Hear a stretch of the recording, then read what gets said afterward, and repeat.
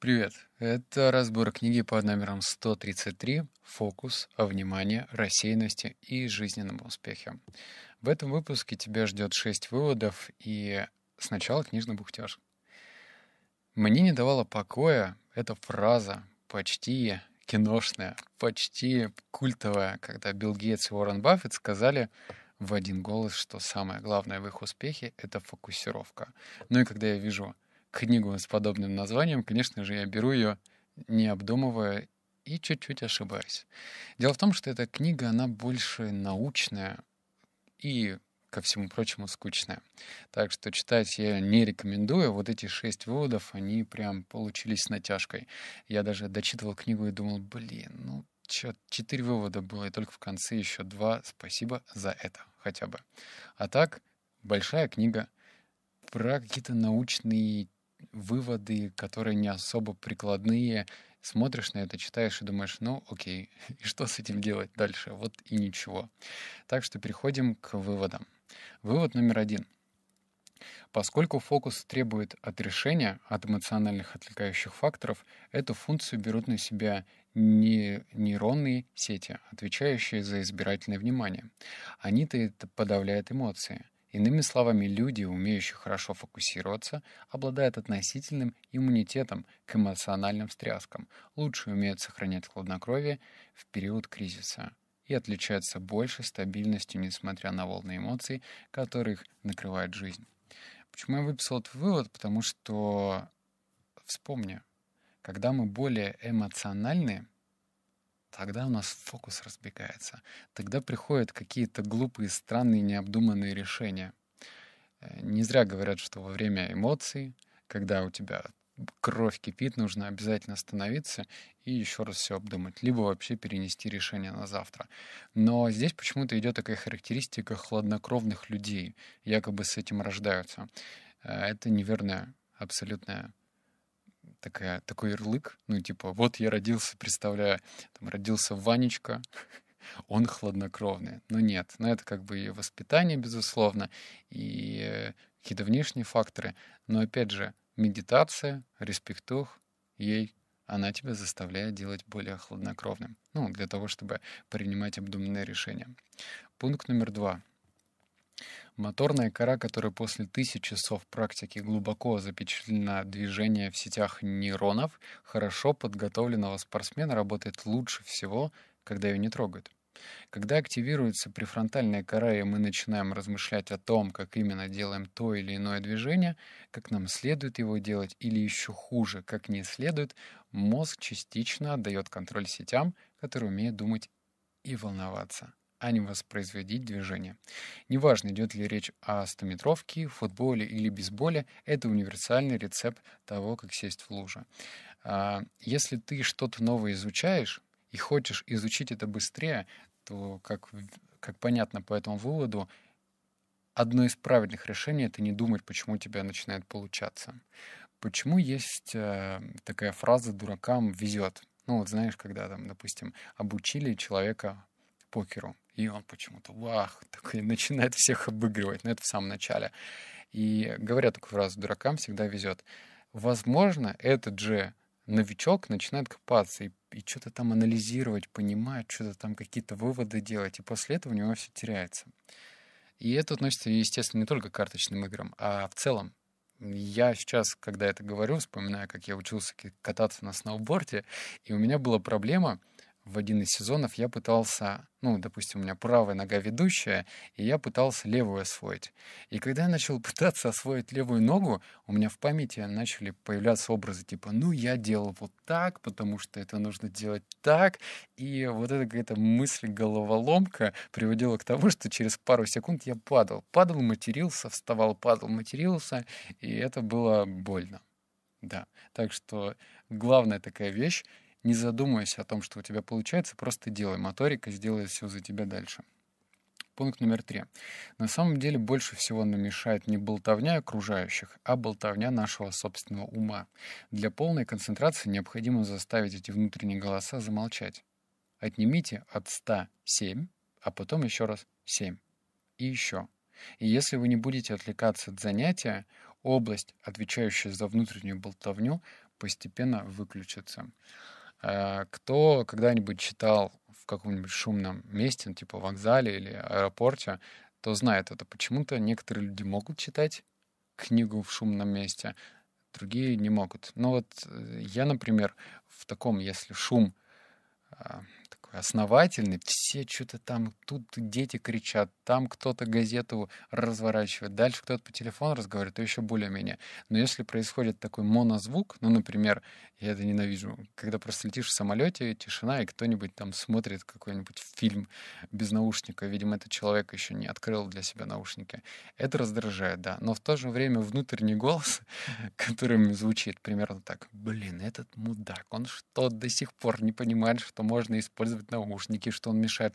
И, по сути, меня отвлекал внутренний голос. Это хороший, на самом деле, вывод. Я прям удивился, что может быть и так. Вывод номер четыре. Нам полезно временно отключаться. Время, проведенное в тишине, способствует восстановлению фокуса и собранности. Однако это ничего не делание, лишь первый шаг. И то, что последует за ним, имеет не меньшее значение. Каплан, ну типа автор книги, отмечает, что прогулка по улицам города, как ни парадоксально, требует внимания. Нам нужно лавировать в толпе, петлять среди машин, игнорировать сигналы гудка и гул оживленной улицы. Прогулка же в парке или в лесу требует гораздо меньшего внимания. На природе мы восстанавливаем силы, достаточно нескольких минут пободрить, по, ой, побродить по парку или полюбоваться пейзажем, скажем, облаками, салом отливом на закате или порхающей бабочкой. Как описывает группа Каплана, этот отдых плавно запускает восходящее внимание, позволяет сетям, ответственным за нисходящую деятельность, восполнять энергию, восстановив внимание, память и улучшив мыслительный процесс. Если ты живешь в городе, ну что ж, нас большинство. Что с этим делать? Если у тебя получится, и какого-то парка нет рядом, ничего страшного. Просто поброди по тихой улице. То есть не надо идти вдоль дороги, не нужно... Э, а, кстати, вот еще рекомендация личная моя. Умей наслаждаться одиночеством. В хорошем смысле этого слова. Не надо становиться затворником, но ты можешь ходить один и ничего плохого не произойдет. Некоторые сразу хватаются за телефон, надо, блин, другу позвонить, надо, надо то проверить. Пятое, может быть, тебе сообщение какое-то пришло. И все это отвлекает, и все это только захламляет мозг и не дает ему отдохнуть. Так что найди какую-нибудь тихую улицу и постарайся по ней бродить. И еще, это лайфхак из моих привычек, ну, из другого подкаста «52 недели одержимости». Старайся находить новое в старом. Если ты настолько устал уже ходить по этому пути, ну вот по этой дороге, постарайся идти по поребрику. Или, возможно, когда ты идешь, смотреть на куст. Или когда ты идешь, немного изменяй походку. Это тоже меняет э, широту зрения. Э, звучит странно, просто попробуй. Потом скажешь, как тебе вообще эта рекомендация. Пункт номер пять. Чем сильнее накал, тем сильнее импульс, а значит выше вероятность того, что наши более трезвомыслящие префронтальные области будут побеждены нашими желаниями. Напротив, префронтальная исполнительная система гасит пожар, не позволяя схватить желаемое и разоблачая искушение как таковое. «Эй, это, от этого ведь толстеют. Вы или ваш четырехлетний ребенок может активировать эту систему, подумав, например, о форме зефира, его цвете или о том, как его делают. Такое переключение фокуса э, понижает накал энергии, толкающий нас к лакомству. Вот смотри, внимание. Тут рассказывается на примере того, почему некоторые люди не могут похудеть. Они открывают холодильник, видят что-то аппетитное, вкусное, и им безумно хочется это съесть. И в этот момент рекомендация следующая. А, если ты будешь стараться ругать себя, о, как же так, ко мне приходят эти мысли, не сработает. Если же ты будешь отгонять себя от этих мыслей, ну, типа, знаешь, был такой тест, когда эм, какой-то спикер говорит, прямо сейчас все внимательно меня послушайте, не думайте о женщине в красном платье. Я сказал, не думайте о женщине в красном платье. Потом он держит паузу и говорит, о чем вы думаете? Ну, все думают, блин, о женщине в красном платье. Тут такая же история. Не получится тебе, знаешь, переключаться. О, вкусная шоколадка. А что мне еще поработать надо? Нет. Ну, ты можешь как бы принять то, что тебе хочется, эту шоколадку, сесть, подышать глубоко и подумать, э, почему тебе хочется эту шоколадку, какая она на вкус, почему она такая на вкус, почему она тебе нравится, чем она пахнет. И, возможно, в момент рассуждения на этой почве тебе станет скучно, и ты такой, да и хрен с этой шоколадкой, пойду другими делами заниматься. Так что такой здравый совет. А пункт номер шесть, он последний, он большой, так что сейчас нужно повнимательнее. Угу. Представьте, что внимание — это умственная мышца, которую можно накачать в ходе тренировок. На эту мышцу действует запоминание и концентрация, так что умственный аналог поднятия тяжести — это осознание тех моментов, когда наш ум блуждает, и способность вернуть его обратно к цели. В этом и заключается суть однонаправленного фокуса при медитации, для которой как правило, нужна тренировка внимания. Если посмотреть на ситуацию через призму когнитивной нейронауки, о, как скучно, вам говорят, чтобы вы удерживали внимание на мантре или на своем дыхании. Попробуйте это делать некоторое время, и ваш ум рано или поздно переключится на что-то другое. Итак, Универсальный совет звучит следующим образом. Когда ваш ум блуждает, а это несложно отследить, верните его обратно в точку фокусировки и старайтесь удержать его там. Когда он снова упустится в свободное плавание, повторите операцию. И так много раз. Нейрофизиологи в университете Эмори использовали функциональную магнитно-резонансную томографию, чтобы изучить мозг тех медитирующих, кто практикует это незамысловатое упражнение для ума. Данный когнитивный цикл разбит на четыре фазы. Ум блуждает, это первое. Второе, вы замечаете, что он блуждает. Третье, возвращайте внимание к дыханию. Четвертое, удерживайте его там. Ключевое здесь последнее. Ну, сейчас объясню почему. Смотри, принцип а, работы накачки мышц, когда ты приходишь в спортзал. Ты выбираешь правильную позу. Представим, что ты делаешь штангу на бицепс. Ты подходишь к штанге, принимаешь правильную позицию, чтобы ее поднять. Ну, это шаг номер один, да? Нужно правильно встать, чтобы грыжа не вылезла. Второе. Поднимаем, ну, корпус, держим правильно поясницу. Третье. Удерживаем локти у корпуса и поднимаем так, чтобы ну, не накачивать себя вот, вот этими выбросами, знаешь, когда корпус вперед, спина назад, то есть вот без этой раскачки. Видишь, здесь такая же ситуация. Первое, ум блуждает. Второе, мы замечаем, что он блуждает. Третье, возвращаем внимание к дыханию. Четвертое, удерживаем там. То есть это, по сути, подходы, повторения для прокачки твоего фокуса.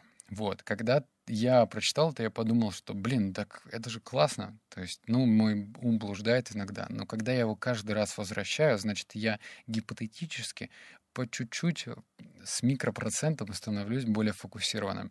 Так что, видишь, такой элемент игры получился. А, я сейчас не прощаюсь с тобой. У меня есть седьмой вывод, но он такой бонусом, и нужно твое мнение. Я тут решил потестировать одну гипотезу. В общем, на сайте, где книжные выжимки, текстовый формат, да, я надеюсь, что ты уже перешел, посмотрел, что они себя представляют, мне пришла идея, как можно усваивать информацию лучше. Что если делать такие частные, закрытые, бесплатные э, книжные клубы? Ну, например, по определенной книге. Вот прочитал ты книгу «Поток осознанности», или как она называется, уже забыл и хочешь ее обсудить или лучше усвоить. Собираются такие же одержимые этой книги люди, и, например, каждый в этом закрытом чате обсуждает какие-то ключевые идеи.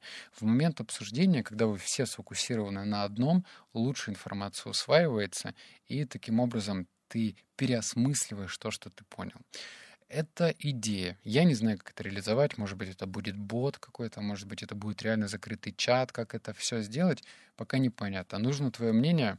Переходи на сайт, там в целом легко авторизоваться. Можно через Facebook, через ВКонтакт, через Google почту. Авторизуйся, где-нибудь напиши свой комментарий. это будет очень ценно, чтобы потом в дальнейшем это все внедрить. Ну, как мне кажется, это прям полезная фича. Все, обнял, поцеловал, заплакал. Услышимся в следующем подкасте. Пока. Паке. Новое слово. Паке.